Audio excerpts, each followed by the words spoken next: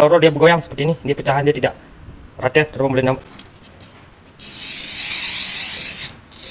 Saya akan potong kaca ini setengah senti. So, untuk mula, cara memotong kaca kelipan uh, satu senti, silakan nonton video ini sampai akhir.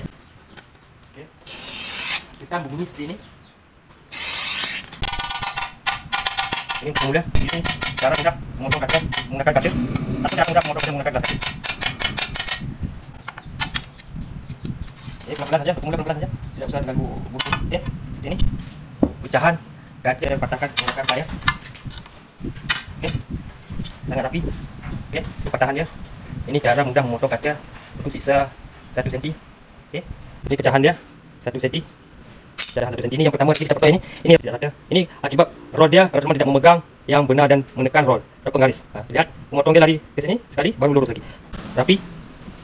Oke. Rapi, halus. Yang